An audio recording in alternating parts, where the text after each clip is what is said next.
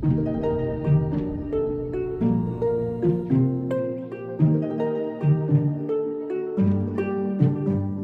move like a moth or a butterfly craving a change in the wind. I swirl by all the insects and all the flies. Why